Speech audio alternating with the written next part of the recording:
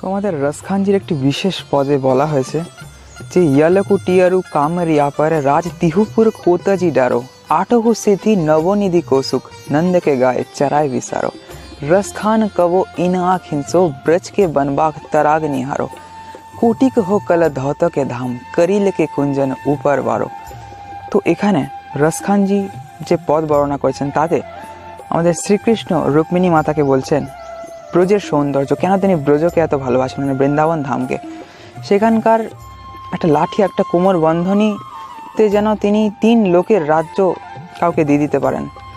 নন্দ মহারাজের গাই চড়ান যখন, তখন তিনি নিজের অষ্টসিদ্ধি নবনিধিকে পর্যন্ত ভুলে যান।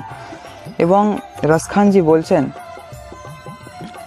যে শ্রীকৃষ্ণ বলছেন যে, আমি সবসময় এই বৃন্দাবনকে দেখতে চাই। বৃন্দাবনের এই তালাব, বন সরোবর, এই সমস্ত আমি দেখতে চাই সারাদিন।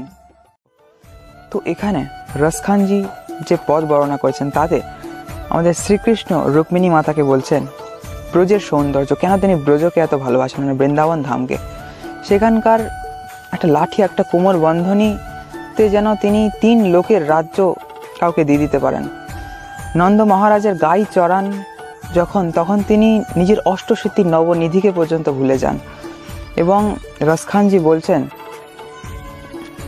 যে শ্রীকৃষ্ণ বলছেন যে আমি সবসময় এই বৃন্দাবনকে দেখতে চাই। বৃন্দাবনের এই বন তালাব বা সরোবর এবং গোবর্ধন পর্বত, যমুনা নদী, ব্রজ রজ পরিবেষ্টিত এই ব্রজভূমি যেন আমি সবসময় দেখতে ইচ্ছা করি, এরকম রুক্মিণী মাতাকে বলছেন শ্রীকৃষ্ণ। এবং কোটি ধামও যদি থেকে থাকে আমার, তো তার সৌন্দর্য এই কাঁটা ভরা ব্রজের কুঞ্জের সমান না।